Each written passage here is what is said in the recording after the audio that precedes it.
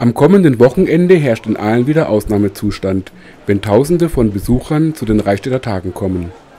Wir sprachen mit dem Leiter des Touristikservice Aalen, Karl Droßbach, der das Fest seit mehr als 30 Jahren organisiert und betreut. Herr Droßbach, äh, was passiert denn dieses Jahr bei den Reichstätter Tagen? Ja, dieses Jahr äh, werden die Reichstätter Tage zum 38. Mal gefeiert. Also begonnen hat alles 1975 und wir haben wiederum ein volles Programm. Es sind viele, viele Vereine auf den Bühnen. Es sind Musikkapellen, die für die musikalische Unterhaltung sorgen auf den Musikpodien. Und wir haben natürlich auch wieder internationale Gäste. Und das macht dieses Stadtfest eigentlich so interessant. Welche Besonderheiten gibt es denn dieses Jahr?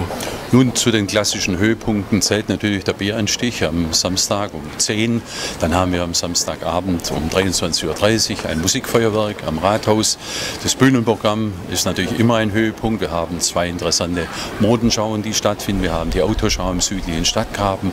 Wir haben die Partnerschaftsfeier am Samstagnachmittag. Also es ist für jedermann etwas geboten und vor allen Dingen gibt es 120 äh, Stände, wo es dann kulinarische Dinge gibt, äh, sodass auch das leibliche Wohl nicht zu kurz kommt. Ja, die Reichstätter Tage sind eigentlich ein Kristallisationspunkt. Äh, hier kommt alles zusammen, hier kommen alle zusammen gewissermaßen. Die Einheimischen feiern mit den Zugezogenen.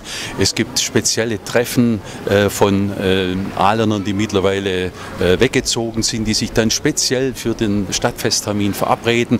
Altersgenossentreffen werden gemacht, Klassentreffen werden durchgeführt. Also hier ist Bewegung und hier ist Begegnung angesagt.